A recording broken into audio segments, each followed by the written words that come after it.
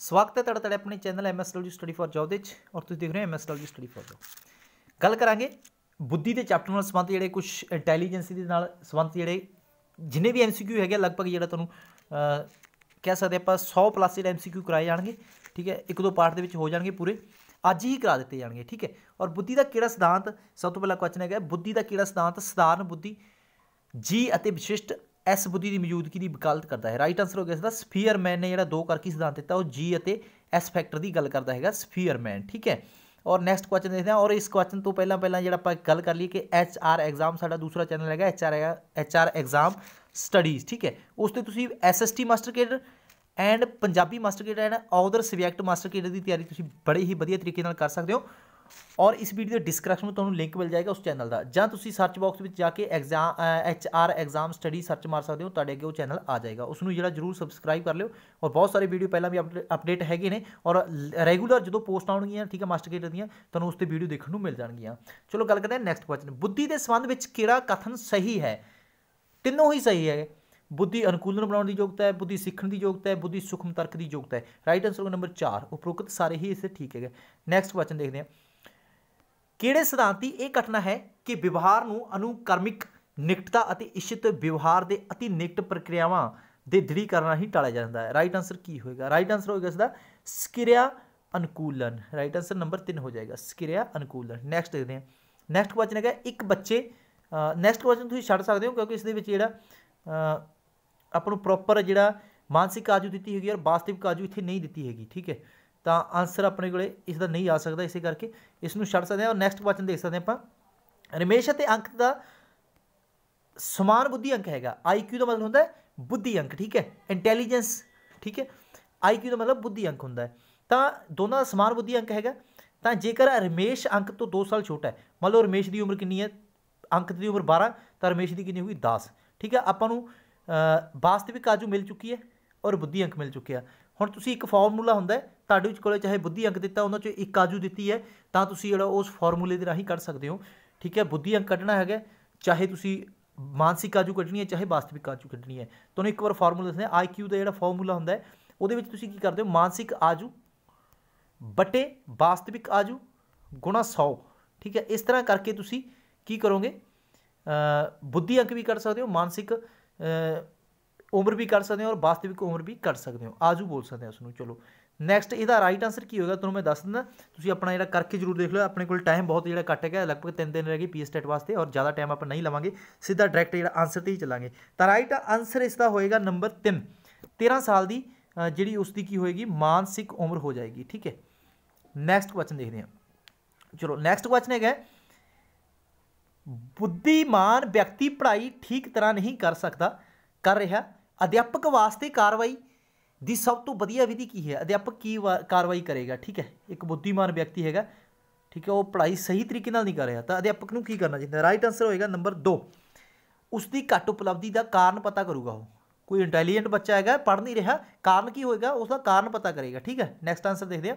Question ਔਰ ਕਿਹੜੀ ਸਥੂਲ ਧਾਰਨਾ ਦੀ ਉਦਾਹਰਨ ਨਹੀਂ ਹੈ? ਸਥੂਲ ਧਾਰਨਾ ਦੀ ਉਦਾਹਰਨ ਨਹੀਂ ਹੈ। ਰਾਈਟ ਆਨਸਰ ਨੰਬਰ 1 ਯੋਗਤਾ ਸਥੂਲ ਧਾਰਨਾ ਦੀ ਕੋਈ ਉਦਾਹਰਨ ਨਹੀਂ ਮੰਨੀ ਜਾਂਦੀ।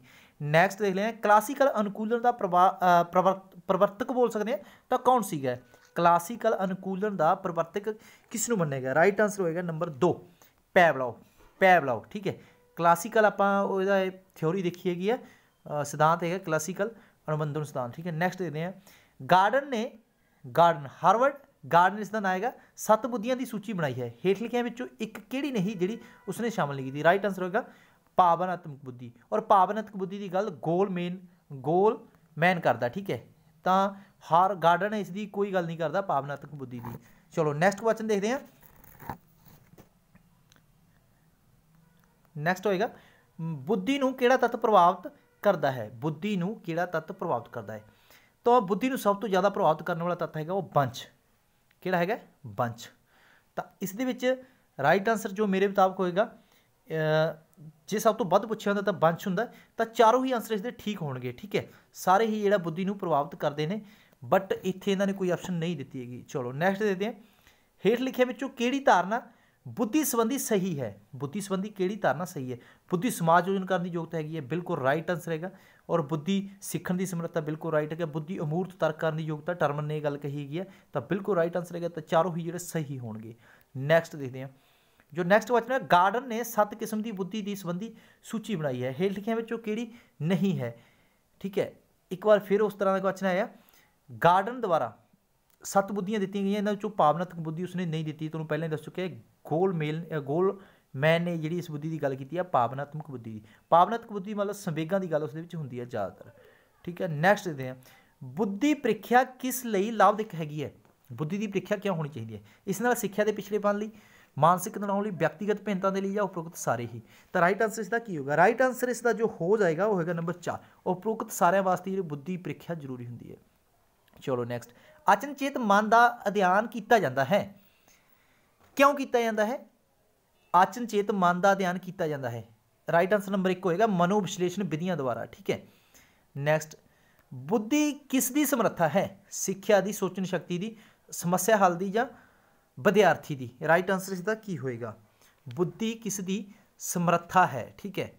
ਤਾਂ ਰਾਈਟ ਆਨਸਰ ਇਸ ਦਾ ਜੋ ਹੋ ਜਾਏਗਾ, ਉਹ ਹੋਏਗਾ ਨੰਬਰ 3 ਸਮੱਸਿਆ। ਸਮੱਸਿਆ ਹੱਲ ਕਰਦੀ ਹੈ। ਬੁੱਧੀ ਕੀ ਕਰਦੀ ਹੈ? ਸਮੱਸਿਆ ਹੱਲ ਕਰਦੀ ਹੈਗੀ ਹੈ। ਨੈਕਸਟ ਬੁੱਧੀ ਨੂੰ ਸਿੰਗਲ ਫੈਕਟਰ ਥਿਉਰੀ ਕਿਸਨੇ ਦਿੱਤੀ ਹੈ? ਬੁੱਧੀ ਦੀ ਸਿੰਗਲ ਫੈਕਟਰ ਥਿਉਰੀ ਕਿਸਨੇ ਦਿੱਤੀ ਹੈ? ਰਾਈਟ ਆਨਸਰ ਕੀ ਹੋਏਗਾ? ਰਾਈਟ ਆਨਸਰ ਹੋਗਾ number 2 Alfred Binet. Alfred Binet ਇਸ ਨੂੰ ਬੋਲ ਸਕਦੇ ਆ ਠੀਕ ਹੈ ਆਲਫਰਟ ਬਿਨੇ ਵੀ ਇਸ ਨੂੰ ਬੋਲ ਸਕਦੇ ਆ, ਬਿਨੇ ਦੁਆਰਾ ਜਿਹੜਾ ਬੁੱਧੀ ਦਾ ਸਿੰਗਲ ਫੈਕਟਰ ਦੀ ਔਰ ਬੁੱਧੀ ਦਾ ਇੱਕ ਕਾਰਕ ਹੁੰਦਾ, ਇਸ ਦੀ ਗੱਲ ਕੀਤੀ ਗਈ ਹੈ। ਚਲੋ ਨੈਕਸਟ ਦੇਖਦੇ ਹਾਂ। ਸਫੀਅਰਮੈਨ ਨੇ ਦੋ ਕਾਰਕ ਦੀ ਗੱਲ ਕੀਤੀ ਹੈ, ਤੁਹਾਨੂੰ ਪਹਿਲਾਂ ਦੱਸ ਚੁੱਕੇ ਹਾਂ। ਬੁੱਧੀ ਦਾ ਐਸਆਈ ਮਾਡਲ ਔਰ ਆਈਆਰ ਗਿਲਫੋਰਡ ਕਦੋਂ ਦਿੱਤਾ ਗਿਆ? ਠੀਕ ਹੈ, ਤਾਂ ਰਾਈਟ ਆਨਸਰ ਇਸ ਦਾ ਕੀ ਹੋ ਜਾਏਗਾ? ਰਾਈਟ ਆਨਸਰ ਇਸ ਦਾ ਜੋ ਹੋਏਗਾ ਜਿਨ੍ਹਾਂ ਨੂੰ ਪਤਾ ਕਮੈਂਟ ਕਰਕੇ ਜਰੂਰ ਦੱਸ ਦਿਓ। ਰਾਈਟ ਆਨਸਰ ਹੋਗਾ ਨੰਬਰ 2 1966 ਦੇ ਵਿੱਚ। ਨੈਕਸਟ ਟਰਮਨ ਦੇ ਅਨੁਸਾਰ ਮਨੋਵਿਗਿਆਨਕ ਵਿਕਾਸ ਉਮਰ ਵਿੱਚ ਰੁਕ ਜਾਂਦਾ ਹੈ। ਟਰਮਨ ਕਹਿੰਦਾ ਜਿਹੜਾ ਮਨੋਵਿਗਿਆਨ ਵਿਕਾਸ ਕਿਸ ਉਮਰ ਵਿੱਚ ਰੁਕ ਜਾਂਦਾ ਹੈ? ਰਾਈਟ ਆਨਸਰ ਇਸ ਦਾ ਹੋ ਜਾਏਗਾ ਨੰਬਰ 3 ਰਾਈਟ ਆਨਸਰ ਹੋ ਜਾਏਗਾ ਨੰਬਰ ਟਰਮਨ ਨੇ ਕੀ ਸਿੱਟਾ ਕੱਢਿਆ? ਔਰ ਟਰਮਨ ਕਹਿੰਦਾ ਕਿ ਜਿਹੜਾ ਵਿਕਾਸ ਹੈਗਾ ਬੁੱਧੀ ਦਾ, ਉਹ 16 ਸਾਲ ਦੀ ਉਮਰ ਵਿੱਚ ਰੁਕ ਜਾਂਦਾ ਹੈ। ਠੀਕ ਹੈ 16 ਸਾਲ ਦੀ ਉਮਰ ਤੋਂ ਬਾਅਦ ਨਹੀਂ ਹੁੰਦਾ ਚਲੋ ਨੈਕਸਟ ਦੇਖਦੇ ਹਾਂ। ਥੌਰਡੈਕ ਨੇ ਵਿਅਕਤੀ ਨੂੰ ਕਿਹੜੇ ਆਧਾਰ ਤੇ ਵੰਡਿਆ ਹੈ। ਵਿਅਕਤੀ ਨੂੰ ਕਿਹੜੇ ਆਧਾਰ ਤੇ ਵੰਡਿਆ ਹੈਗਾ? ਥੌਰਡੈਕ ਨੇ। ਤਾਂ ਰਾਈਟ ਆਨਸਰ ਇਸ ਦਾ ਕੀ ਹੋਏਗਾ? ਔਰ ਆਪਸ਼ਨ ਤੁਹਾਡੇ ਅੱਗੇ ਹੈਗੀ ਹੈ ਕਿ ਜਿਹੜਾ ਥੌਰਡੈਕ ਕਹਿੰਦਾ ਕਿ ਵਿਅਕਤੀ ਦੇ ਵਿੱਚ ਕੀ ਹੁੰਦਾ? ਚਿੰਤਨ ਅਤੇ ਕਲਪਨਾ ਸ਼ਕਤੀ ਦੇ ਆਧਾਰ ਉੱਤੇ ਵੰਡਿਆ ਵਿਅਕਤੀ ਨੂੰ। ਕਠੋਰ ਦਿਲ ਅਤੇ ਕੋਮਲ ਦਿਲ ਦੇ ਆਧਾਰ ਤੇ ਵੰਡਿਆ। ਪ੍ਰਭਾਵ ਪ੍ਰਭੂਤਾ ਪੂਰਨ ਅਤੇ ਅਧੀਨ ਸੰਪੂਰਨ ਦੇ ਆਧਾਰ ਉੱਤੇ ਵੰਡਿਆ ਜਾਂ ਉਪਰੋਕਤ ਵਿੱਚੋਂ ਕੋਈ ਨਹੀਂਗਾ ਤਾਂ ਰਾਈਟ ਆਨਸਰ ਇਸ ਦਾ ਕੀ ਹੋ ਜਾਏਗਾ ਜੋ ਰਾਈਟ ਆਨਸਰ ਇਸ ਦਾ ਹੋ ਜਾਏਗਾ ਉਹ ਹੋਏਗਾ ਨੰਬਰ 1 ਚਿੰਤਨ ਅਤੇ ਕਲਪਨਾ ਸ਼ਕਤੀ ਦੇ ਆਧਾਰ ਉੱਤੇ ਬਣਦਾ ਹੈ ਟਰਮਨ ਨੈਕਸਟ ਕੁਐਸਚਨ ਹੈਗਾ। ਹੇਠ ਲਿਖਿਆਂ ਵਿੱਚੋਂ ਕਿਹੜੀ ਬੁੱਧੀ ਦੀ ਵਿਸ਼ੇਸ਼ਤਾ ਹੈ? ਹੇਠ ਲਿਖਿਆਂ ਵਿੱਚੋਂ ਕਿਹੜੀ ਬੁੱਧੀ ਦੀ ਔਰ ਜੋ ਰਾਈਟ ਆਨਸਰ ਹੋਗਾ ਨੰਬਰ 4 ਉਪਰੋਕਤ ਸਾਰੇ ਹੀ ਜਿਹੜੀਆਂ ਬੁੱਧੀ ਦੀਆਂ ਵਿਸ਼ੇਸ਼ਤਾਵਾਂ, ਬੁੱਧੀ ਜਮਾਂਦਰੂ ਜਾਂ ਜਨਮਜਾਤ ਹੁੰਦੀ ਹੈ, ਹੱਲ, ਗੁੰਝਲਦਾਰ ਸਮੱਸਿਆ ਹੈ ਬੁੱਧੀ, ਸੋਚਣ ਦੀ ਵੀ ਕਿਸਮ ਹੈਗੀ ਹੈ ਬੁੱਧੀ। ਠੀਕ ਹੈ ਰਾਈਟ ਆਨਸਰ ਹੋ ਜਾਏਗਾ। ਨੈਕਸਟ ਮੂਲ ਪ੍ਰਵਿਰਤੀਆਂ ਇੱਕ ਜਾਤੀ ਦੇ ਪ੍ਰਾਣੀਆਂ ਵਿੱਚ ਇੱਕੋ ਜਿਹੀਆਂ ਹੁੰਦੀਆਂ ਹਨ, ਇਹ ਕਥਨ ਹੈ। ਕਿਸ ਦੁਆਰਾ ਦਿੱਤਾ ਗਿਆ ਇਹ ਕਥਨ? ਤਾਂ ਰਾਈਟ ਆਨਸਰ ਇਸ ਦਾ ਜਿਹੜਾ ਹੋ ਜਾਏਗਾ, ਉਹ ਹੋਏਗਾ ਨੰਬਰ 2 ਭਾਟੀਆ ਦੁਆਰਾ, ਠੀਕ ਹੈ। ਨੈਕਸਟ ਥੌਰਡੈਕ ਮਨੋਵਿਗਿਆਨਿਕ ਸੀ, ਬ੍ਰਿਟੇਨ ਦਾ, ਅਮਰੀਕਾ ਦਾ, ਭਾਰਤ ਦਾ, ਰੂਸ ਦਾ। ਰਾਈਟ ਆਨਸਰ ਕੀ ਹੋਏਗਾ? ਤਾਂ ਬਿਲਕੁਲ ਜੋ ਰਾਈਟ ਆਨਸਰ ਨੰਬਰ 2 ਅਮਰੀਕਾ ਦਾ ਜੋ ਮਨੋਵਿਗਿਆਨੀ ਹੈਗਾ ਥੌਰਡੈਕ ਠੀਕ ਹੈ। ਔਰ ਥੌਰਡੈਕ ਉਹੀ ਹੈ ਜਿਸ ਨੇ ਬਿੱਲੀ ਵਾਲਾ ਜਿਹੜਾ ਪ੍ਰਯੋਗ ਕੀਤਾ ਹੈਗਾ, ਠੀਕ ਹੈ। ਚਲੋ ਐਰਰ ਐਂਡ ਟ੍ਰਾਇਲ ਥਿਉਰੀ ਜਿਸ ਨੇ ਦਿੱਤੀ ਹੈਗੀ ਹੈ। ਟ੍ਰਾਇਲ ਐਂਡ ਐਰਰ ਥਿਉਰੀ ਉਸ ਨੂੰ ਬੋਲ ਸਕਦੇ ਆ ਯਤਨ ਅਤੇ ਭੁੱਲ ਦਾ ਸਿਧਾਂਤ ਜਿਸ ਨੇ ਦਿੱਤਾ ਹੈਗਾ। ਬੁੱਧੀ ਦੀ ਉਮਰ ਨਾਲ ਸੰਬੰਧਿਤ ਸਕਿੱਲ ਕਿਸ ਨੇ ਵਿਕਸਿਤ ਕੀਤਾ? ਔਰ ਬੁੱਧੀ ਦਾ ਉਮਰ ਨਾਲ ਸੰਬੰਧਿਤ ਸਕਿੱਲ ਜਿਹੜਾ ਕਿਸ ਨੇ ਵਿਕਸਿਤ ਕੀਤਾ ਹੈਗਾ? ਰਾਈਟ ਆਨਸਰ ਇਸ ਦਾ ਹੋਏਗਾ ਨੰਬਰ 4 ਬਿਨਟ ਸਾਈਮਨ ਨੇ, ਠੀਕ ਹੈ? ਸਾਈਮਨ ਹੈਗਾ, ਸਾਈਮੋਨ ਨਹੀਂ ਹੈਗਾ, ਸਾਈਮਨ। ਨੈਕਸਟ ਦੇਖਦੇ ਹਾਂ। ਬੁੱਧੀ ਦੇ ਸੰਬੰਧ ਵਿੱਚ ਕਿਹੜਾ ਕਥਨ ਸਹੀ ਹੈ? ਤਾਂ ਸਾਰੇ ਹੀ ਸਹੀ ਹੋਣਗੇ, ਠੀਕ ਹੈ? ਤਰਕ ਵੀ ਕਰਦੀ ਹੈ ਬੁੱਧੀ, ਸਿੱਖਣ ਦੀ ਯੋਗਤਾ ਵੀ ਹੈ, ਅਨੁਕੂਲ ਬਣਾਉਣ ਦੀ ਵੀ ਯੋਗਤਾ ਹੈਗੀ ਹੈ। ਔਰ ਵਿੱਚ ਕੁਐਸਚਨ ਰਿਪੀਟਡ ਹੈ ਗਿਆ ਉਸ ਲਈ ਮਾਫੀ ਚਾਹੁੰਦੇ ਆ ਔਰ ਨੈਕਸਟ ਕੁਐਸਚਨ ਹੈ, ਤੁਹਾਡੀ ਕਲਾਸ ਵਿੱਚ ਕੁਝ ਵਿਦਿਆਰਥੀ ਵਿਸ਼ੇਸ਼ ਤੌਰ ਤੇ ਬੁੱਧੀਮਾਨ ਹਨ। ਤੁਸੀਂ ਉਹਨਾਂ ਨੂੰ ਕਿਵੇਂ ਪੜਾਵੋਗੇ ਵਿਸ਼ੇਸ਼ ਤੌਰ ਤੇ ਬੁੱਧੀਮਾਨ ਹੈਗੇ, ਉਹਨਾਂ ਨੂੰ ਕਿਵੇਂ ਪੜਾਵੋਗੇ ਉਹਨਾਂ ਨੂੰ ਪਰਤਪੂਰਨ ਪ੍ਰੋਗਰਾਮਾਂ ਦੀ ਵਰਤੋਂ ਕਰਕੇ ਰਾਈਟ ਆਨਸਰ ਇਸ ਦਾ ਹੋ ਜਾਏਗਾ, ਠੀਕ ਹੈ? ਉਹਨਾਂ ਵਾਸਤੇ ਸਪੈਸ਼ਲ ਪ੍ਰੋਗਰਾਮਾਂ ਦੀ ਵਰਤੋਂ ਕਰਕੇ। ਨੈਕਸਟ ਦੇਖਦੇ ਹਾਂ। ਕਿਸ ਦੇ ਅਨੁਸਾਰ ਬੁੱਧੀ ਦਾ ਅਰਥ ਅਕਲ ਜਾਂ ਸਮਝ ਦਾ ਬੂਝ ਸਮਝ ਬੂਝ ਦਾ ਪ੍ਰਯੋਗ ਹੁੰਦਾ ਹੈ? ਬੁੱਧੀ ਕੀ ਹੁੰਦੀ ਹੈ ਕੌਣ ਕਹਿੰਦਾ ਇਹ ਗੱਲ? ਅਕਲ ਜਾਂ ਸਮਝ ਬੂਝ ਦੀ ਪ੍ਰਯੋਗ ਹੁੰਦਾ ਬੁੱਧੀ। ਤਾਂ ਇਹ ਕਹਿੰਦੀ ਹੈ ਐਕਸਪੋਰਟ ਸ਼ਬਦਕੋਸ਼ ਕਹਿੰਦਾ ਹੈ। ਠੀਕ ਹੈ ਨੈਕਸਟ ਦੇਖਦੇ ਹਾਂ। ਬੁੱਧੀ ਡੈਸ਼ ਦੀ ਯੁਕਤ ਹੈ, ਸਿਖਿਆਰਥੀ ਦੀ, ਅਚਿੰਤਰ ਦੀ, ਅਧਿਆਪਨ ਦੀ ਔਰ ਸਮੱਸਿਆ ਹੱਲ ਦੀ। ਤੁਹਾਨੂੰ ਪਤਾ ਰਾਈਟ ਆਨਸਰ ਹੋਏਗਾ, ਸਮੱਸਿਆ ਹੱਲ ਦੀ ਜਿਹੜੀ ਯੋਗਤਾ ਹੈਗੀ ਹੈ ਬੁੱਧੀ। ਬੁੱਧੀ ਦੇ ਸਿਧਾਂਤ ਹਨ, ਅਕਾਦਮਿਕ ਪ੍ਰਾਪਤੀ ਬਹੁਕਾਰਕੀ ਸਿਧਾਂਤ, ਦੋ ਕਾਰਕੀ ਯੋਗਤਾ ਔਰ ਉਪਰੋਕਤ ਵਿੱਚੋਂ ਦੋ ਜਾਂ ਤਿੰਨ। ਰਾਈਟ ਆਨਸਰ ਹੋ ਗਿਆ, ਦੋ ਜਾਂ ਤਿੰਨ। ਅਕਾਦਮਿਕ ਕੋਈ ਪ੍ਰਾਪਤੀ ਦਾ ਸਿਧਾਂਤ ਨਹੀਂ ਰੱਖਿਆ ਗਿਆ। ਬਹੁਕਾਰਕੀ ਤੇ ਕਾਰਕੀ, ਦੋ ਕਾਰਕੀ ਸਿਧਾਂਤ ਇਸ ਦੀ ਹੈਗੇ ਠੀਕ ਹੈ ਰਾਈਟ ਆਨਸਰ ਹੋਏਗਾ। ਨੰਬਰ 4 ਨੈਕਸਟ ਬੁੱਧੀ ਨੂੰ ਪ੍ਰਭਾਵਿਤ ਕਰਨ ਵਿੱਚ ਸਭ ਤੋਂ ਵੱਡਾ ਕਾਰਕ ਕਿਹੜਾ ਹੈਗਾ? ਤਾਂ ਤੁਹਾਨੂੰ ਦੱਸਿਆ ਸਭ ਤੋਂ ਜਿਹੜਾ ਵੱਡਾ ਕਾਰਕ ਹੈਗਾ, ਇਹਨਾਂ ਨੇ ਵੱਡਾ ਪੁੱਛਿਆ, ਠੀਕ ਹੈ ਇੱਥੇ। ਪਹਿਲਾਂ ਵੀ ਇਸ ਤਰ੍ਹਾਂ ਦਾ ਕੁਐਸਚਨ ਸੀ, ਮੈਂ ਤੁਹਾਨੂੰ ਦੱਸਿਆ ਕਿ ਉੱਥੇ ਸਾਰੇ ਆਨਸਰ ਠੀਕ ਹੋਣਗੇ। ਇਹ ਸਾਰੇ ਹੀ ਜਿਹੜੇ ਪ੍ਰਭਾਵਿਤ ਕਰਦੇ ਪਰ ਸਭ ਤੋਂ ਜ਼ਿਆਦਾ ਜਿਹੜਾ ਉਹ ਪ੍ਰਭਾਵਿਤ ਕਰਦਾ ਹੋਇਆ ਵੰਸ਼ ਅਨੁਕਰਮ, ਠੀਕ ਹੈ। ਬਿਰਸਾ, ਜਿਹਨੂੰ ਬੋਲਾਂਗੇ, ਬਿਰਸਾ ਜਾਂ ਵੰਸ਼ ਅਨੁਕਰਮ ਸਭ ਤੋਂ ਵੱਧ ਪ੍ਰਭਾਵਿਤ ਕਰਦਾ ਹੈ ਬੁੱਧੀ ਨੂੰ। ਨੈਕਸਟ ਦੇਖਦੇ ਹਾਂ। ਟਰਮਨ ਦੇ ਅਨੁਸਾਰ ਮਾਨਸਿਕ ਉਮਰ ਮਾਨਸਿਕ ਵਿਕਾਸ ਡੈਸ਼ ਉਮਰ ਵਿੱਚ ਰੁਕ ਜਾਂਦਾ ਇਹ ਵੀ ਰਿਪੀਟਡ ਕੁਐਸਚਨ ਹੈ 16 ਸਾਲ ਦੀ ਉਮਰ ਤੱਕ ਰੁਕ ਜਾਂਦਾ, ਪਹਿਲਾਂ ਹੀ ਤੁਹਾਨੂੰ ਦੱਸ ਚੁੱਕੇ ਹਾਂ। ਮਾਨਸਿਕ ਯੋਗਤਾ ਦੇ ਮਾਪਨ ਦੇ ਲਈ ਸਭ ਤੋਂ ਪਹਿਲਾਂ ਟੈਸਟ ਕਿਸ ਨੇ ਬਣਾਇਆ? ਮਾਨਸਿਕ ਯੋਗਤਾ ਨੂੰ ਮਾਪਣ ਦੇ ਲਈ ਸਭ ਤੋਂ ਪਹਿਲਾਂ ਜਿਹੜਾ ਟੈਸਟ ਕਿਸ ਦੁਆਰਾ ਬਣਾਇਆ ਗਿਆ ਸੀ? ਰਾਈਟ ਆਨਸਰ ਇਸ ਦਾ ਕੀ ਹੋ ਜਾਏਗਾ? ਔਰ ਜੋ ਰਾਈਟ ਆਨਸਰ ਹੋਏਗਾ, ਬਿਲਕੁਲ ਨੰਬਰ 4 ਆਲਫਰਡ ਬਿਨੇ ਨੇ, ਠੀਕ ਹੈ ਆਲਫਰਡ ਬਿਨੇ ਨੇ ਜਿਹੜਾ ਸਭ ਤੋਂ ਪਹਿਲਾਂ ਮਾਨਸਿਕ ਯੋਗਤਾ ਨੂੰ ਮਾਪਣ ਦਾ ਟੈਸਟ ਬਣਾਇਆ। ਔਰ ਬਹੁਤ ਹੀ ਅਹਿਮ ਕੁਐਸਚਨ ਆ ਡਾਇਰੈਕਟ ਤੁਹਾਨੂੰ ਪੁੱਛੇ ਜਾ ਸਕਦੇ। ਕਿਹੜੇ ਮਨੋਵਿਗਿਆਨ ਵਿਗਿਆਨਕ ਨੇ ਬੁੱਧੀ ਨੂੰ ਇਕਾਤਮਿਕਤਾ ਗੁਣ ਦੱਸਿਆ ਹੈਗਾ। ਮੰਨ ਲਓ ਵੀ ਬੁੱਧੀ ਇੱਕ ਕਾਰਕ ਹੈਗੀ ਆ, ਤਾਂ ਕਿਸ ਨੇ ਦੱਸਿਆ? ਵਾਟ ਨੇ ਦੱਸਿਆ? ਸਟਰ ਨੇ ਦੱਸਿਆ? ਸਟਰਮਨ ਨੇ ਦੱਸਿਆ? ਰੋਸ ਨੇ ਦੱਸਿਆ? ਰਾਈਟ ਆਨਸਰ ਕੀ ਹੋਏਗਾ? ਰਾਈਟ ਆਨਸਰ ਹੋਗਾ ਇਸ ਦਾ। 2 ਸਟਰਨ ਸਟਰਨ ਇਸ ਦੀ ਗੱਲ ਕਰਦਾ ਔਰ ਇਸ ਦੇ ਨਾਲ ਜਿਹੜਾ ਸਪੈਂਸਰ ਵੀ ਹੈਗਾ, ਹਾਰਬਰਟ ਸਪੈਂਸਰ ਵੀ ਹੈਗਾ, ਠੀਕ ਹੈ? ਔਰ ਕੁਝ ਹੋਰ ਇਸ ਦੇ ਨਾਲ ਜਿਹੜੇ ਸਮਰਥਕ ਹੈਗੇ ਨੇ। ਨੈਕਸਟ, ਸਟਰਨ ਨੇ ਪ੍ਰਤਿਭਾਸ਼ਾਲੀ ਬੱਚਿਆਂ ਦਾ ਬੁੱਧੀ ਲਾਭਦੀ ਅੰਕ ਕਿੰਨਾ ਦੱਸਿਆ? ਸਟਰਨ ਨੇ ਜਿਹੜਾ ਪ੍ਰਤਿਭਾਸ਼ਾਲੀ ਬੱਚਿਆਂ ਦੇ ਬੁੱਧੀ ਅੰਕ ਕਿੰਨਾ ਦੱਸਦਾ? ਉਹ ਕਹਿੰਦਾ 150 ਤੱਕ ਹੁੰਦਾ ਹੈ ਪ੍ਰਤਿਭਾਸ਼ਾਲੀ ਬੱਚਿਆਂ ਦਾ ਬੁੱਧੀ ਅੰਕ। ਠੀਕ ਹੈ ਰਾਈਟ ਆਨਸਰ 150 ਹੋ ਜਾਏਗਾ। ਠੀਕ ਹੈ 150 ਜਿਸ ਨੂੰ ਆਪਾਂ ਬੋਲ ਸਕਦੇ ਹਾਂ, ਇਹ ਵਾਲਾ ਆਨਸਰ ਇਸ ਦਾ ਹੋ ਜਾਏਗਾ ਨੰਬਰ 3 ਨੈਕਸਟ ਦੇਖਦੇ ਹਾਂ। ਮੈਗਨ ਨੇ ਅਤੀ ਸ੍ਰੇਸ਼ਟ ਬੁੱਧੀ ਦਾ ਪ੍ਰਤੀ ਪ੍ਰਤਿਭਾਸ਼ਾਲੀ ਜਿਹੜਾ ਬੁੱਧੀ ਦਾ ਅੰਕ ਦੱਸਿਆ ਮੈਗਨ ਨੇ। ਤਾਂ ਰਾਈਟ ਆਨਸਰ ਇਸ ਦਾ ਕੀ ਹੋਗਾ ਮੈਗਨ ਕੀ ਕਹਿੰਦਾ ਜਿਹੜਾ ਪ੍ਰਤੀਭਾਸ਼ਾਲੀ ਬੱਚਿਆਂ ਦਾ ਬੁੱਧੀ ਦਾ ਅੰਕ ਕੀ ਹੁੰਦਾ ਹੈ? ਤਾਂ ਮੈਗਨ ਦੁਆਰਾ ਇਸ ਦਾ ਰਾਈਟ ਆਨਸਰ ਹੋਏਗਾ ਨੰਬਰ 3 140 ਤੋਂ 169 ਜਿਹੜਾ ਮੰਨਦਾ ਹੈਗਾ। ਵੱਖ-ਵੱਖ ਹਰੇਕ ਨੇ ਦੱਸਿਆ ਹੈਗਾ ਔਰ ਜੇਕਰ ਵੈਸੇ ਦੇਖਿਆ ਜਾਵੇ ਤਾਂ ਪ੍ਰਤਿਭਾਸ਼ਾਲੀ ਜਿਹੜੇ ਬੱਚੇ ਹੁੰਦੇ ਆ, ਤਾਂ ਉਹਨਾਂ ਦਾ ਬੁੱਧੀ ਅੰਕ 130 ਤੋਂ 140 ਦੇ ਵਿਚਕਾਰ ਐਵਰੇਜ ਰੱਖਿਆ ਗਿਆ, ਠੀਕ ਹੈ? ਔਰ ਇਹ ਵੱਖ-ਵੱਖ ਮਨੋਵਿਗਿਆਨੀ ਦੀਆਂ ਜਿਹੜੀਆਂ ਆਪਣੀਆਂ ਥਿੰਕਿੰਗ ਹੈਗੀਆਂ ਨੇ। ਬੁੱਧੀ ਅਤੇ ਵਿਕਾਸ ਹੈ, ਇੱਕ ਦੂਸਰੇ ਦੇ ਵਿਰੋਧੀ, ਇੱਕ ਦੂਸਰੇ ਦੇ ਪੂਰਕ, ਇੱਕ ਦੂਸਰੇ ਦੇ ਸਮਾਨ, ਜਾਂ ਇਹਨਾਂ ਵਿੱਚੋਂ ਕੁਝ ਨਹੀਂ। ਰਾਈਟ ਆਨਸਰ ਨੰਬਰ 2 ਹੋ ਜਾਏਗਾ, ਇੱਕ ਦੂਸਰੇ ਦੇ ਪੂਰਕ, ਠੀਕ ਹੈ? ਨੰਬਰ 2 ਆਨਸਰ ਇਸ ਦਾ ਰਾਈਟ ਹੋ ਜਾਏਗਾ। ਨੈਕਸਟ ਦੇਖਦੇ ਹਾਂ ਸਫੀਅਰਮੈਨ ਦੇ ਅਨੁਸਾਰ ਬੁੱਧੀ ਦੇ ਕਿੰਨੇ ਕਾਰਕ ਹਨ ਸਫੀਅਰ ਮੈਨ ਦੇ ਅਨੁਸਾਰ ਬੁੱਧੀ ਦੇ ਕਿੰਨੇ ਕਾਰਕ ਹਨ? ਦੋ। ਇਹ ਤੁਹਾਨੂੰ ਪਤਾ ਹੀ ਹੈਗਾ। ਜਨਰਲ ਫੈਕਟਰ ਤੇ ਜਿਸ ਨੂੰ ਆਪਾਂ ਸਮਾਨ ਬੁੱਧੀ ਸਮਾਨਿਆ ਬੁੱਧੀ ਕਹਿ ਸਕਦੇ ਹਾਂ ਔਰ ਵਿਸ਼ਿਸ਼ਟ ਬੁੱਧੀ ਕਹਿ ਸਕਦੇ ਹਾਂ। ਠੀਕ ਹੈ ਨੈਕਸਟ ਦੇਖਦੇ ਹਾਂ ਸਭ ਤੋਂ ਪਹਿਲਾ ਵਿਅਕਤੀ, ਸਭ ਤੋਂ ਪਹਿਲਾ ਵਿਅਕਤੀ ਪ੍ਰੀਖਿਆ ਦਾ ਨਿਰਮਾਣ ਕਿਸ ਨੇ ਕੀਤਾ? ਵਿਅਕਤੀਗਤ ਪ੍ਰੀਖਿਆ ਦਾ ਨਿਰਮਾਣ ਸਭ ਤੋਂ ਪਹਿਲਾਂ ਕਿਸ ਨੇ ਕੀਤਾ? ਵੰਟ ਨੇ, ਕੈਟਲ ਨੇ, ਵਟ ਨੇ, ਬਿਨੇ ਅਤੇ ਸਾਈਮਨ ਨੇ। ਰਾਈਟ ਆਨਸਰ ਕੀ ਹੋਏਗਾ? ਤਾਂ ਰਾਈਟ ਆਨਸਰ ਹੋਏਗਾ ਬਿਨੇ ਅਤੇ ਸਾਈਮਨ ਨੇ। ਬਿਨੇ ਤੇ ਸਾਈਮਨ ਨੇ ਸਭ ਤੋਂ ਪਹਿਲਾਂ ਵਿਅਕਤੀਗਤ ਪ੍ਰੀਖਿਆ ਦਾ ਨਿਰਮਾਣ ਕੀਤਾ। ਨੈਕਸਟ ਮੰਦ ਬੁੱਧੀ। ਇੱਥੇ ਬੰਦ ਨਹੀਂ ਹੈਗਾ, ਮੰਦ। ਮੰਦ ਬੁੱਧੀ ਨੂੰ ਮਾਪਣ ਲਈ ਪ੍ਰਯੋਗਸ਼ਾਲਾ ਕਦੋਂ ਖੋਲੀਗੀ ਰਾਈਟ ਆਨਸਰ ਕੀ ਹੋਏਗਾ? ਰਾਈਟ ਆਨਸਰ ਹੋਏਗਾ ਨੰਬਰ 2 1878 ਦੇ ਵਿੱਚ ਮੰਦ ਬੁੱਧੀ ਪ੍ਰਯੋਗਸ਼ਾਲਾ ਖੋਲੀ ਗਈ ਠੀਕ ਹੈ, ਮਾਪਣ ਵਾਸਤੇ। ਸਧਾਰਨ ਬੁੱਧੀ ਵਾਲੇ ਬੱਚੇ ਕਿਸ ਅਵਸਥਾ ਵਿੱਚ ਬੋਲਣਾ ਸਿੱਖਦੇ ਆ? ਸਧਾਰਨ ਬੁੱਧੀ ਵਾਲੇ ਬੱਚੇ ਹੈਗੇ ਆ, ਉਹ ਕਿਸ ਅਵਸਥਾ ਵਿੱਚ ਬੋਲਣਾ ਸਿੱਖ ਜਾਂਦੇ ਆ? ਤਾਂ ਰਾਈਟ ਆਨਸਰ ਹੋਗਾ ਨੰਬਰ 2 11 ਮਹੀਨਿਆਂ ਦੀ ਉਮਰ ਦੇ ਵਿੱਚ ਸਿੱਖ ਜਾਂਦੇ ਆ। ਸਧਾਰਨ ਬੁੱਧੀ ਵਾਲਾ ਬੱਚਾ ਕਿੰਨੇ ਦਿਨਾਂ ਵਿੱਚ ਚੱਲਣਾ ਸਿੱਖ ਜਾਂਦਾ ਹੈ? ਠੀਕ ਹੈ, ਸਧਾਰਨ ਬੁੱਧੀ ਵਾਲਾ ਬੱਚਾ ਕਿੰਨੇ ਦਿਨਾਂ ਵਿੱਚ ਚੱਲਣਾ ਸਿੱਖ ਜਾਂਦਾ ਔਰ ਇੱਥੇ ਆਨਸਰ ਜਿਹੜਾ ਮੰਥ ਦੇ ਵਿੱਚ ਹੀ ਹੈਗਾ। ਠੀਕ ਹੈ ਰਾਈਟ ਆਨਸਰ ਕੀ ਹੋਏਗਾ? ਉਹਨੇ ਤੁਸੀਂ ਦਿਨ ਬਣਾ ਸਕਦੇ ਹੋ ਮੰਥ ਦੀ। ਰਾਈਟ ਆਨਸਰ ਹੋਗਾ ਨੰਬਰ 4 14 ਮਹੀਨਿਆਂ ਦੇ ਵਿੱਚ। ਕਹਿਣ ਦਾ ਮਤਲਬ 14 ਗੁਣਾ ਆਪਾਂ ਕਰ ਸਕਦੇ ਹਾਂ 30 ਠੀਕ ਹੈ। ਤਾਂ ਇਹ ਹੋ ਗਿਆ 12 ਔਰ 4 ਔਰ 420 ਦਿਨ ਜਿਹੜੇ ਆਪਾਂ ਬੋਲ ਸਕਦੇ ਹਾਂ, ਠੀਕ ਹੈ। ਕਿ 420 ਦਿਨਾਂ ਦੇ ਵਿੱਚ ਜਿਹੜਾ ਉਹ ਸਿੱਖ ਜਾਂਦਾ ਹੈ। ਨੈਕਸਟ ਦੇਖਦੇ ਹਾਂ। ਬਿਨੇ ਮਨੋਵਿਗਿਆਨ ਨੇ ਕਿਹੜੇ ਸਿਧਾਂਤ ਦਾ ਨਿਰਮਾਣ ਕੀਤਾ ਹੈ? ਇਕਾਤਮਿਕ ਸਿਧਾਂਤ ਪਹਿਲਾਂ ਹੀ ਕਰ ਚੁੱਕੇ ਹਾਂ ਤਾਂ ਰਾਈਟ ਆਨਸਰ ਨੰਬਰ 1 ਹੀ ਹੋ ਜਾਏਗਾ। ਇੱਕ ਕਾਰਕ ਸਿਧਾਂਤ ਜਾਂ ਇਕਾਤਮਿਕ ਸਿਧਾਂਤ ਦਾ ਨਿਰਮਾਣ ਕੀਤਾ ਗਿਆ ਬਿਨੇ ਮਨੋਵਿਗਿਆਨ ਨੇ। ਨੈਕਸਟ ਦੇਖਦੇ ਹਾਂ। ਬੰਟ ਕਾਰਕ ਸਿਧਾਂਤ ਦਾ ਮੁੱਖ ਸਮਰਥਕ ਕੌਣ ਹੈਗਾ ਬੰਦ ਕਾਰਕ ਹੈਗਾ ਇਹ, ਨਾ ਕਿ ਬੰਟ।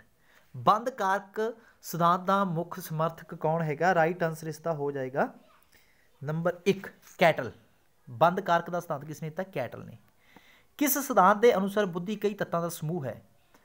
ਪ੍ਰਤੀਦਰਸ਼ ਸਿਧਾਂਤ ਦੇ ਅਨੁਸਾਰ, ਸਮੂਹ ਤੱਤ ਸਿਧਾਂਤ ਦੇ ਅਨੁਸਾਰ, ਗਿਲਫੋਰਡ ਦੇ ਸਿਧਾਂਤ ਅਨੁਸਾਰ ਬਹੁਕਾਰਕ ਸਿਧਾਂਤ ਦੇ ਅਨੁਸਾਰ। ਬਹੁਤ ਹੀ ਅਹਿਮ ਕੁਐਸਚਨ ਹੈਗਾ। ਸਮੂਹ ਤੱਤਾਂ ਦਾ ਕਹਿ ਸਕਦੇ ਆ ਤੱਤਾਂ ਦਾ ਸਮੂਹ ਬੋਲ ਸਕਦੇ ਆ ਜਾਂ ਸਮੂਹ ਤੱਤ ਇਸ ਦੇ ਵਿੱਚ ਸ਼ਾਮਲ ਹੁੰਦੇ ਆ, ਤਾਂ ਕਿਸ ਨੇ ਇਹ ਗੱਲ ਕਹੀ ਹੈਗੀ ਆ ਬੁੱਧੀ ਬਾਰੇ?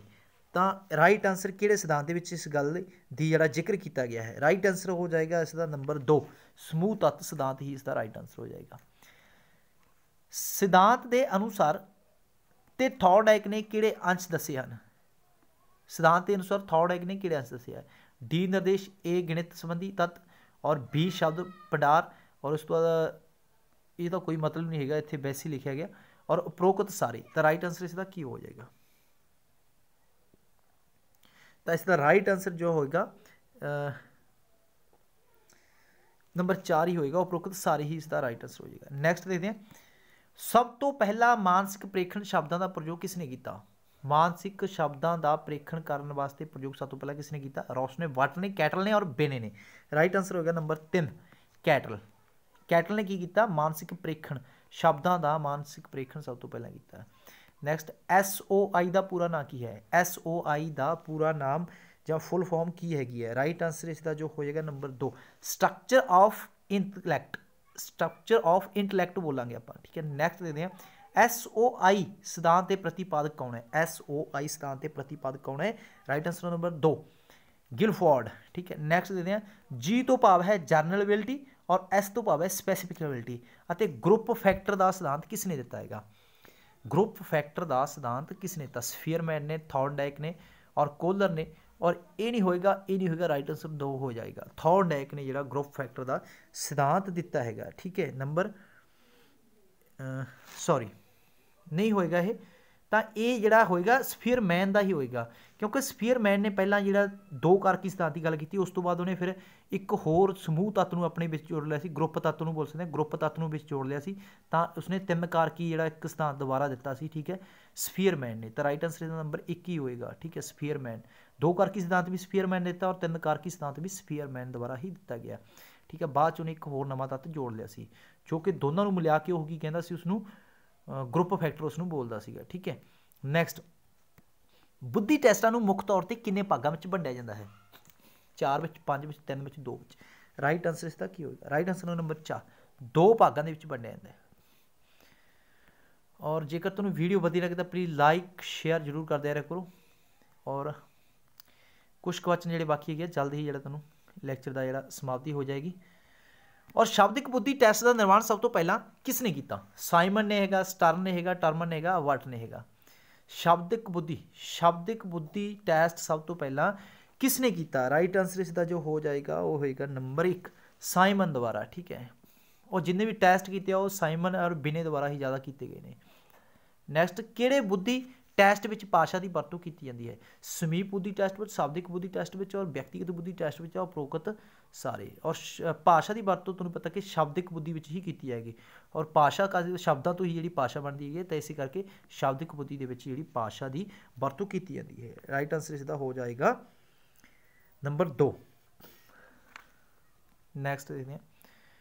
ਬੁੱਧੀ ਲਬਧੀ ਨੂੰ ਗਿਆਨ ਲਈ ਸੂਤਰ ਕਿਸ ਮਨੋਵਿਗਿਆਨੀ ਨੇ ਦਿੱਤਾ ਹੈਗਾ? ਬੁੱਧੀ ਵਿਅਕਤੀ ਗਿਆਨ ਲਈ ਜਾਂ ਬੁੱਧੀ ਲਬਧੀ ਨੂੰ ਜਾਣਨ ਵਾਸਤੇ ਜਿਹੜਾ ਸੂਤਰ ਕਿਸ ਮਨੋਵਿਗਿਆਨੀ ਨੇ, ਥਰਸਟਰ ਨੇ, ਸਟਾਰ ਨੇ ਸਪੀਅਰਮੈਨ ਨੇ ਔਰ ਬਿਨੇ ਨੇ। ਰਾਈਟ ਆਨਸਰ ਕੀ ਹੋਏਗਾ ਰਾਈਟ ਆਨਸਰ ਹੋਏਗਾ ਨੰਬਰ 4 ਬਿਨੇ ਨੇ। ਠੀਕ ਹੈ, ਤੁਹਾਨੂੰ ਪਹਿਲਾਂ ਦੱਸ ਚੁੱਕਿਆ, ਟੈਸਟਾਂ ਦੀ ਗੱਲ ਹੀ ਕਰ ਰਹੇ ਆ, ਬਿਨੇ ਐਂਡ ਸਾਈਮਨ। ਔਰ ਬੁੱਧੀ ਲਬਧੀ ਦਾ ਸੰਬੰਧ ਹੈ। ਗਿਆਨ ਨਾਲ ਹੈਗਾ, ਵਿਵੇਕ ਨਾਲ ਹੈਗਾ, ਤਰਕ ਨਾਲ ਹੈਗਾ, ਬੁੱਧੀ ਨਾਲ ਹੈਗਾ। ਬੁੱਧੀ ਲਬਧੀ ਦਾ ਸੰਬੰਧ ਕਿਸ ਦੇ ਨਾਲ ਹੈਗਾ ਇਹਨਾਂ ਦੇ ਵਿੱਚੋਂ? ਰਾਈਟ ਆਨਸਰ ਕੀ ਹੋਏਗਾ? ਰਾਈਟ ਆਨਸਰ ਇਸ ਦਾ ਜੋ ਹੋ ਜਾਏਗਾ ਨੰਬਰ 4 ਬੁੱਧੀ ਨਾਲ ਹੀ ਹੈਗਾ, ਬੁੱਧੀ ਅੰਕ ਦਾ ਸੰਬੰਧ ਬੁੱਧੀ ਨਾਲ ਹੀ ਹੋਏਗਾ। ਚਲੋ। ਕਿਸ ਵਿਗਿਆਨ ਨੇ ਬੁੱਧੀ ਦਾ ਅਰਥ, ਅਕਲ ਅਤੇ ਬੁੱਧੀ ਦੱਸਿਆ ਹੈ? ਪਹਿਲਾਂ ਹੀ ਕਰ ਚੁੱਕੇ ਆ। ਐਕਸਪੋਰਟ ਜਾਂ ਸ਼ਬਦਕੋਸ਼, ਐਕਸਪੋਰਟ ਸ਼ਬਦਕੋਸ਼ ਡਿਸਕ੍ਰਿਪਟਿਵ ਦੁਆਰਾ ਇਹ ਦੱਸਿਆ ਗਿਆ। ਠੀਕ ਹੈ ਨੈਕਸਟ ਦੇਖਦੇ ਹਾਂ। ਬੁੱਧੀ ਦਾ ਨਾਨ ਵਰਬਲ ਟੈਸਟ ਵਿਕਸਿਤ ਹੋਇਆ ਹੈ? ਨਾਨ ਵਰਬਲ ਟੈਸਟ ਵਿਕਸਿਤ ਹੋਇਆ ਪਿਛਲੇ ਬੱਚਿਆਂ ਲਈ, ਗੂੰਗੇ ਬੱਚਿਆਂ ਲਈ, ਅਨਪੜ੍ਹ ਬੱਚਿਆਂ ਲਈ ਉਪਰੋਕਤ ਸਾਰਿਆਂ ਲਈ? ਰਾਈਟ ਆਨਸਰ ਨੰਬਰ 2 ਗੂੰਗੇ ਬੱਚਿਆਂ ਲਈ। ਨਾਨ ਵਰਬਲ ਟੈਸਟ ਜਿਹੜਾ ਗੂੰਗੇ ਬੱਚਿਆਂ ਲਈ ਜਿਹੜਾ ਤਿਆਰ ਕੀਤਾ ਗਿਆ ਬੁੱਧੀ ਦਾ। ਬੁੱਧੀ ਅੰਕ ਗਿਆਤ ਕਰਨ ਦਾ ਸੂਤਰ ਦੇਣ ਵਾਲੇ ਮਨੋਵਿਗਿਆਨੀ ਦਾ ਨਾਂ ਹੈ। ਬੁੱਧੀ ਅੰਕ ਜਿਹੜਾ ਆਪਾਂ ਨੂੰ ਪਤਾ ਹੀ ਦੱਸਿਆ ਕਿ ਬੁੱਧੀ ਅੰਕ ਨੂੰ ਕਿਵੇਂ ਪਤਾ ਕੀਤਾ ਜਾਂਦਾ। ਮਾਨਸਿਕ ਆਜੂ ਬਟੇ ਵਾਸਤਿਕ ਆਜੂ ਗੁਣਾ 100 ਤਾਂ ਇਹ ਸੂਤਰ ਕਿਸ ਨੇ ਦਿੱਤਾ ਹੈਗਾ? ਥਰਸਟ ਨੇ, ਸਕਿੰਦਰ ਨੇ, ਸਟਰਨ ਨੇ ਔਰ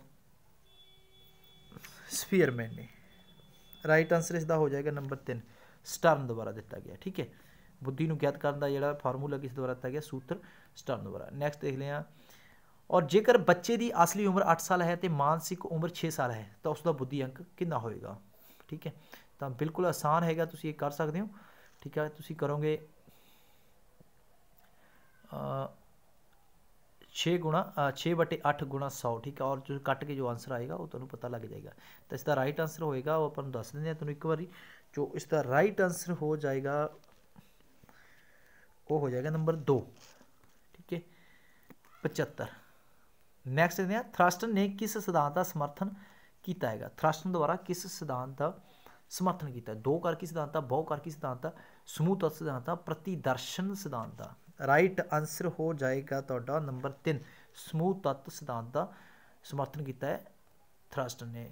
ਨੈਕਸਟ ਕਿਹੜੀ ਬੁੱਧੀ ਦੀ ਕਿਸਮ ਨਹੀਂ ਹੈ? ਹੇਠ ਲਿਖਿਆ ਵਿੱਚੋਂ ਕਿਹੜੀ ਬੁੱਧੀ ਦੀ ਕਿਸਮ ਨਹੀਂ? ਮਾਨਸਿਕ ਗਿਆਨ, ਸਮਾਜਿਕ ਗਿਆਨ, ਠੋਸ ਗਿਆਨ। ਰਾਈਟ ਆਨਸਰ ਨੰਬਰ 3 ਹੋਏਗਾ, ਠੋਸ ਗਿਆਨ ਜਿਹੜੀ ਬੁੱਧੀ ਦੀ ਕੋਈ ਕਿਸਮ ਨਹੀਂ ਮੰਨੀ ਜਾਂਦੀ। ਠੀਕ ਹੈ ਨੈਕਸਟ ਦੇਖਦੇ ਹਾਂ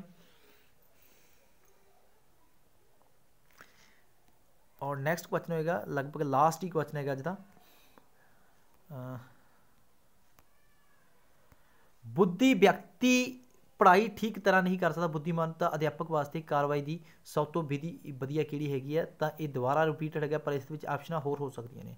ਠੀਕ ਹੈ, ਦੇਖੋ ਸਕਦੇ ਹੋ, ਇਸ ਦੇ ਵਿੱਚ ਆਪਸ਼ਨਾਂ ਜਿਹੜੀਆਂ ਅਲੱਗ ਹੈਗੀਆਂ ਨੇ, ਜਿੰਨਾ ਚਿਰ ਉਸ ਦਾ ਪ੍ਰਦਰਸ਼ਨ ਬਿਹਤਰ ਨਹੀਂ ਹੋ ਜਾਂਦਾ ਤਾਂ ਉਹਨਾਂ ਚਿਰ ਇੰਤਜ਼ਾਰ ਕਰਨਾ ਹੋਏਗਾ ਉਸ ਦੀ ਘੱਟ ਉਪਲਬਧੀ ਦਾ ਕਾਰਨ ਮਾਲੂਮ ਕਰਨਾ ਹੋਏਗਾ, ਤਾਂ ਰਾਈਟ ਆਨਸਰ ਇਸ ਦਾ ਇਹ ਹੋ ਜਾਏਗਾ, ਬਿਲਕੁਲ ਸੇਮ ਬਚਨ ਹੈਗਾ, ਘੱਟ ਉਪਲਬਧੀ ਦਾ ਕਹਿ ਸਕਦੇ ਹਾਂ, ਕਾਰਨ ਮਾਲੂਮ ਕਰਨਾ ਹੋਏਗਾ। ਨੈਕਸਟ ਥੌਰਨਡੈਕ ਨੇ ਬੁੱਧੀ ਦੇ ਕਿੰਨੇ ਪੱਖਾਂ ਦਾ ਵਰਣਨ ਕੀਤਾ। ਤਾਂ ਥੌਰਨਡੈਕ ਬੁੱਧੀ ਦੇ ਕਿੰਨੇ ਪੱਖਾਂ ਦਾ ਵਰਣਨ ਕਰਦਾ ਰਾਈਟ ਆਨਸਰ ਇਸ ਦਾ ਕੀ ਹੋਏਗਾ? ਰਾਈਟ ਆਨਸਰ ਇਸ ਦਾ ਹੋਏਗਾ ਨੰਬਰ 4 ਚਾਰ ਹੀ ਜਿਹੜਾ ਬੁੱਧੀ ਦੇ ਪੱਖਾਂ ਦੀ ਗੱਲ ਕਰਦਾ ਥੌਰਨਡੈਕ ਠੀਕ ਹੈ? ਥੌਰਨਡੈਕ ਕਹਿੰਦਾ ਇੱਕ ਉਸ ਦਾ ਪੱਧਰ ਹੁੰਦਾ, ਇੱਕ ਖੇਤਰ ਹੁੰਦਾ, ਠੀਕ ਹੈ? ਇਸ ਤਰ੍ਹਾਂ। ਦੋ ਹੋਰ ਨੇ ਜਿਹੜੇ ਕਿ ਐਟ ਮਾਈਂਡ ਵਿੱਚ ਨਹੀਂ ਹੈਗੇ, ਤੁਸੀਂ ਜਰੂਰ ਜਿਹੜਾ ਨੋਟ ਕਰ ਦਿਓ। ਪ੍ਰਤੀਦਰਸ਼ ਸਿਧਾਂਤ ਦਾ ਨਿਰਮਾਤਾ ਕੌਣ ਹੈ? ਪ੍ਰਤੀਦਰਸ਼ ਸਿਧਾਂਤ ਦਾ ਨਿਰਮਾਤਾ ਕੌਣ ਹੈ? ਇਹ ਵੀ ਇੱਕ ਬੁੱਧੀ ਦਾ ਸਿਧਾਂਤ ਹੈਗਾ, ਪ੍ਰਤੀਦਰਸ਼। ਤਾਂ ਰਾਈਟ ਆਨਸਰ ਇਸ ਦਾ ਹੋਏਗਾ ਨੰਬਰ 2 ਥਾਮਸਨ ਠੀਕ ਹੈ? ਥਾਮਸਨ ਇਸ ਦਾ ਰਾਈਟ ਆਨਸਰ ਹੋਏਗਾ। ਔਰ ਵੀਡੀਓ ਤੁਹਾਨੂੰ ਵਧੀਆ ਲੱਗੀ ਤਾਂ ਪਲੀਜ਼ ਲਾਈਕ ਸ਼ੇਅਰ ਜਰੂਰ ਕਰ ਦਿਓ। ਔਰ ਕਾਫੀ ਲੰਬਾ ਲੈਕਚਰ ਚਲਾ ਗਿਆ ਸੀ ਔਰ ਤਾਂ ਕਿ ਤੁਹਾਨੂੰ ਵੱਧ ਤੋਂ ਵੱਧ ਜਿਹੜੇ ਕੁਐਸਚਨ ਕਰਾ ਦਿੱਤੇ ਜਾਣ, ਠੀਕ ਹੈ? ਬੁੱਧੀ ਨਾਲ ਸੰਬੰਧਿਤ ਜਿਹੜੇ ਹਜੇ ਵੀ ਜਿਹੜੇ ਬਾਕੀ ਕੁਐਸਚਨ ਹੈਗੇ ਨੇ, ਜਿਹੜੇ ਐਮਸੀਕਿਊਜ਼ ਔਰ ਜਿੰਨਾ ਸ਼ੇਅਰ ਲਾਈਕ ਕਰੋਗੇ ਉਹਨਾਂ ਹੀ ਤੁਹਾਨੂੰ ਜਿਹੜਾ ਜਲਦੀ ਮਟੀਰੀਅਲ ਪ੍ਰੋਵਾਈਡ ਕਰਾਇਆ ਜਾਏਗਾ। ਠੀਕ ਹੈ? ਜਲਦੀ ਇੱਕ ਲੈਕਚਰ ਹੋਰ ਲੈ ਕੇ ਮਿਲਾਂਗੇ ਔਰ ਲਗਭਗ ਜਿਹੜਾ ਟਾਈਮ ਹਲੇ ਕਹਿ ਸਕਦੇ ਆਪਾਂ ਕੁਝ ਵੀ ਨਹੀਂ ਹੋਇਆ, ਠੀਕ ਹੈ? ਔਰ ਜਲਦੀ ਤੁਹਾਨੂੰ ਜਿਹੜਾ 6:43 ਮਿੰਟ ਹੋਇਆ ਔਰ 9 ਵਜੇ ਤੋਂ ਪਹਿਲਾਂ ਪਹਿਲਾਂ ਇੱਕ ਲੈਕਚਰ ਅਪਡੇਟ ਹੋਰ ਕਰ ਦਿੱਤਾ ਜਾਏਗਾ ਬੁੱਧੀ ਨਾਲ ਸੰਬੰਧਿਤ ਔਰ ਬੁੱਧੀ ਦਾ ਕੋਈ ਵੀ ਜਿਹੜਾ ਕੁਐਸਚਨ ਆਏਗਾ ਤੁਹਾਡੇ ਕੋਲੇ, ਤਾਂ ਤੁਸੀਂ ਉਹ ਲਗਭਗ ਹੱਲ ਕਰਨ ਦੀ ਕੋਸ਼ਿਸ਼ ਕਰ ਸਕਦੇ ਹੋ ਔਰ 100% ਤੁਸੀਂ ਹੱਲ ਕਰੋਗੇ। Thank you so much take care bye bye ਮਿਲਦੇ ਇੱਕ ਹੋਣਾ ਵੀਡੀਓ